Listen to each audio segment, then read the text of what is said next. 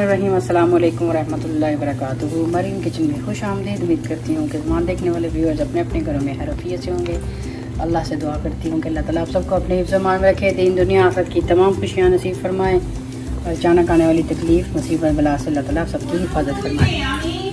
अमीन सो मामिन हमने गाय की जो है कुर्बानी की है तो सबसे पहले हम गाय का गोश्त जो है कि वो बना रहे हैं घर पे। आप यहाँ पे देख सकते हैं। ये तकरीबन चार किलो जो है गोशत है और इसमें हमने डेढ़ सारा लहसुन, अदरक और प्याज जो है कि डाल दिया है। और यहाँ पे हमने डेकोरेशन के लिए हरी मिर्ची, अदरक बरीक बरीक काट लिए हैं और टमाटर। ये जब हम भूनेंगे गोशत को तो उसमें हम डाल के टमाटर को पकाएँगे। जी, माशाल्लाह से आप देख सकते हैं गोशत बहुत अच्छे तरीके से पक रहा है और बहुत तरीके से तकरीबन गल चुका है। इसमें पानी कोई नहीं डाला, क्योंकि जब ताज़ा ताज़ा गोश्त आप पकाते हैं कुर्बानी का तो थोड़े से पानी में ही गल जाता है, वो अपना ही पानी छोड़ता है, यहाँ पे आप देख सकते हैं। लहसन जो है वो थोड़ा ज़्यादा डालना है आपने क्योंकि लहसन जो है कि वो गोश्त की स्मेल को मारता है। तो ये देखिए। तो व्यूअर्स चूँकि गोश्त में थोड़ी सी सब कसर रह गई थी तो इसमें हमने टमाटर जो है, तकरीबन जो है कि पंद्रह टमाटर हमने इसमें कटिंग करके डाल दिए हैं। और टमाटरों के छिलके अब इसकी भाप में जो है कि उतरेंगे तो फिर हम इसको उतार के हम गोश्त में इनको भूनेंगे। ये तो व्यूअर्स यहाँ पे चूल्हे को हमने किया है अभी थोड़ा सा लो, और अब हम टमाटर के छिलके जो हैं ये उतार देंगे इस तरह से करके सारे। और उतारने के बाद अब हम इसमें डालेंगे घी, और घी से हम अच्छी तरीके से इनको भून लेंगे। हम इसमें स्पाइसेस डाल देते हैं। यहाँ पे हमारे पास दो टेबल स्पून कुटी हुई लाल मिर्च है one and half tablespoon हमारे पास हल्दी है टू टेबल स्पून ज़ीरा है टू टेबल स्पून पिसा हुआ सूखा धनिया है और one and half tablespoon जो हमारे पास क्रश पिज़्ज़ा मिर्च है, लाल वाली। ये हम सब इसके अंदर डाल दें।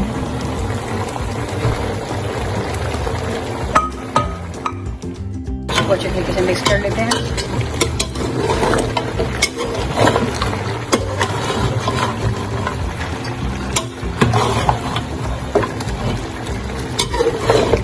व्यूअर्स यहाँ पे अब हम डालेंगे ऑयल क्योंकि गोश्त को बहुत ज़्यादा ऑयल छोड़ता है, इसलिए हम इसमें एक भर के चम जो बड़ा स्पून है, वो हम डालेंगे।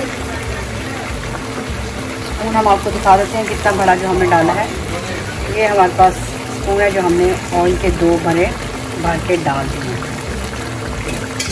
अब इसको हम छट्टा लगा लगा कर भूनते हैं। जी तो व्यूअर्स यहाँ पे गोश्त बहुत तरीके से भुना जा रहा है और यहाँ पे हमने दम पे जो है कि हरी मिर्चें बड़े वाली जो कम स्पाइसी होती है, गोल गोल काटी हैं और ये हमने कुछ साबत रखी हैं बगैर समेत डंडियों के और ये हमने यही हरी मिर्चें बरीक बरीक काटी और अदरक हमने बरीक बरीक काटा। ये हम दम पे लगाएँगे।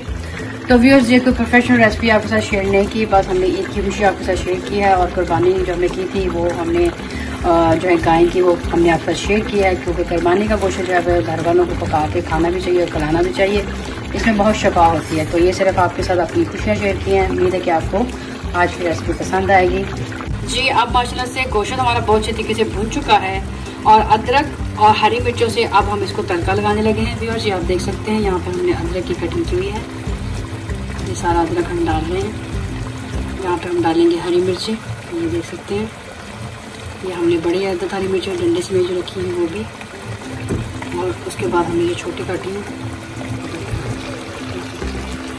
ये देखिए ऐसे और क्योंकि हमारे पास चमचा जो है इतना बड़ा नहीं है तो हमने इसी प्लेट से जो है अब इसको मिक्स करना है देख सकते हैं। ये देख सकते हैं आप।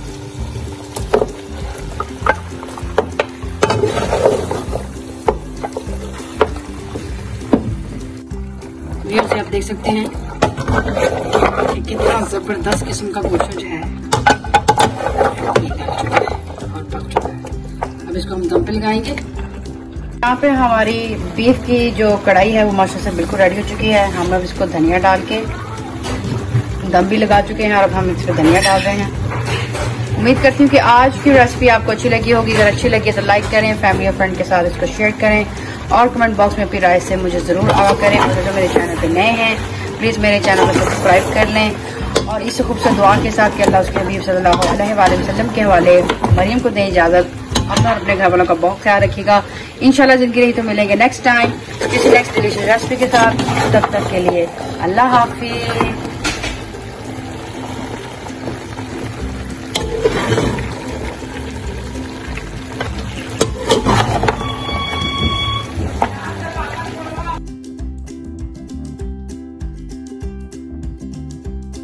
Happy birthday